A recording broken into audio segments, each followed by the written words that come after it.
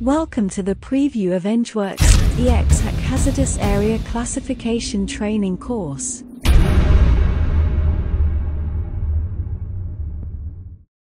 Ventilation can be natural or artificial, depending on the application. In open air situations, air movement is mostly provided by wind currents. This requires us to estimate what the wind velocity might be. In enclosed applications, air movement may be achieved by natural or artificial means. Natural air ventilation may be achieved through pressure differences induced by wind or temperature gradients within the enclosure. Artificial ventilation is where air movement is provided by fans or extractors. To estimate the ventilation velocity for open air, we can use table C.1 from the standard.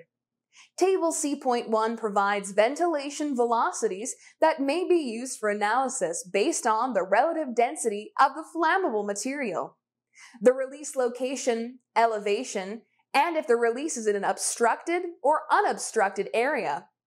In general, ventilation velocities will be highest in unobstructed locations at high elevation.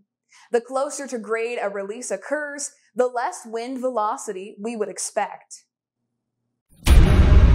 To enroll, visit engworks.ca.